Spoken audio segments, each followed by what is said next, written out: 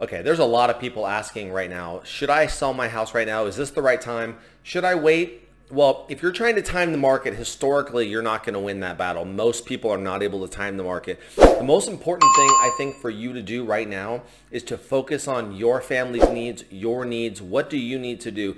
The market's going to be the same on both sides. So if you sell your home, chances are whatever you're going to buy is going to be in the same position you were in when you sold. And the same happens when it's a seller's market. The you sell high, you have to buy high.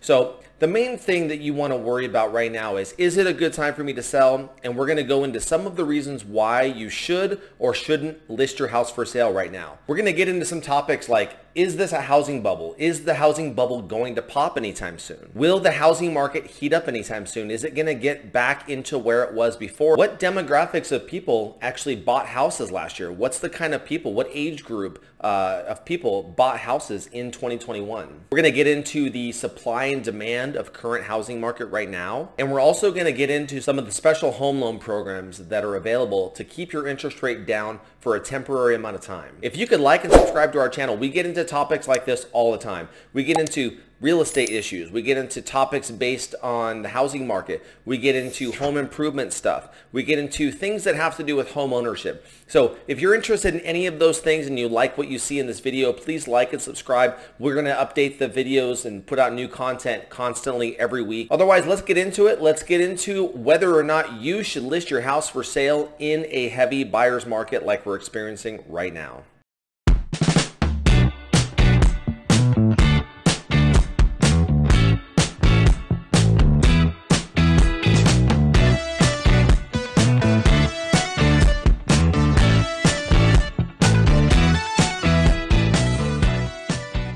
So let's talk about the housing bubble issue. I think that's the biggest thing that everyone talks about. That hot button word that everyone likes to say is housing bubble, housing bubble. Is this a housing bubble?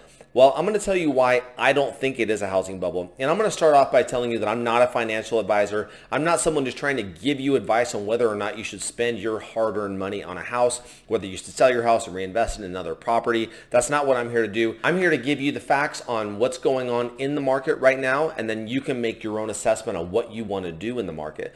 So as far as the housing bubble goes, I don't think this is a bubble, especially in the Treasure Valley area. And the reason why the reason why the property values skyrocketed here was not because the interest rates were low. People are moving here because they aren't happy with where they're coming from. And that is not going to change anytime soon. So a lot of people think that this is a bubble, especially in this area because the property values went up so much in the last five years. But in my estimation, in my opinion, I don't think that's going to change. Every market is fluctuating right now because of the interest rates. If the interest rates went back down tomorrow, the demand would skyrocket and the values would go past where they were just six, eight months ago when the market was at its peak. This is not going to change anytime soon. Buying a house in this area is not a bubble and it is not going to pop. The reason why the housing bubble happened in 2007, 2006, 7, 8, all that area was because of all the bad loans that were being written in the early to mid 2000s. Loan officers and mortgage people, real estate agents were putting people in houses that were not in their price range. They were not able to afford it. They were doing stated loans. They were bundling these bad paper loans into bonds and they were rating them as A plus paper, which was basically telling investors that were buying them that everything in there was good. Everything was vetted. These people are A plus credit. They have excellent documentation. Uh, and so what happened was they were told that they were getting one thing. It ended up being another. The bottom fell out. All the bonds fell apart uh, and the products basically went to nothing which caused everything to fall apart. Foreclosures went through the roof. That's not what's going on right now. The mortgage industry is extremely regulated right now. There is no loans being written that are uh, terrible loans with people that work at Subway buying $800,000 houses like there was back in 2006, 2007. That being said, the same reason why things crashed in 2008 is not going to be a reason why it will crash now and it's not going to crash because of that reason. So will the housing market heat up again? I think it will. And the reason why is because as soon as the interest rates level off or if people end up being really frustrated with where they're at because more things start happening in those areas like California, Washington, Oregon, those three states, I think, have the most influx from there into Idaho, into our Treasure Valley area than anywhere else. And the reason why is just the policies. And those policies are not changing. They're only getting worse. If you were a betting person, I would bet definitely that things are going to continue to get worse there. I hope they don't.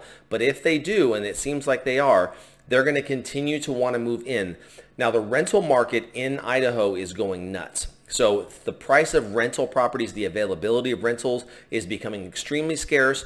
So buying a house is going to be beneficial in a few different ways. One, it's going to secure your family has somewhere to live. And two, it's going to save you some money. If you can get a mortgage payment at or below what it would cost to rent, which is pretty much the trend at this point, you're going to be better off, even if you're paying a higher interest rate, you're better off paying a mortgage payment where some of the money is going towards the property value versus just throwing it all away in a rental payment every month, which is what a lot of people are doing right now. They're opting for that option. The volume of homes that are for sale is going up. The time that houses are on the market right now is longer. So if you are looking to sell your house right now and list it, I think you're going to have to expect that you're going to have to do a few price drops. You're going to want to be very strategic with how you price your home. You're going to want to get with a realtor like myself and you're going to want to discuss trying to stay in front of the price curve. You don't want to be above the price curve. You don't want to be at a point where you're 20 grand above hoping that someone's going to make an offer. Meanwhile, there are 70 properties in the area that are similar to yours that are all priced 20, 30 grand below. By the time you realize to make the price drop, it's already going to be lower again because the values are dropping slightly. That's just something that's going to happen naturally. That's just the natural curve of where the market's going right now. So if you get with a good qualified realtor, we can help you out and get you uh, the right comps and the right information from a CMA that's going to give you the information, the data to make the proper analysis for where you should price your home at. Okay, so the demographics of who bought houses in 2021. This may seem like a detail that's not that big of a deal, but actually it's kind of interesting. So the majority of people that bought homes in 2021 were actually people that were probably in their 20s to early 40s, so Gen X and millennials. So these people were getting in either getting in their first home or maybe their second or third home, that kind of thing. So a lot of people were moving around and making that commitment and buying houses that are in their Gen X and millennial um, age group.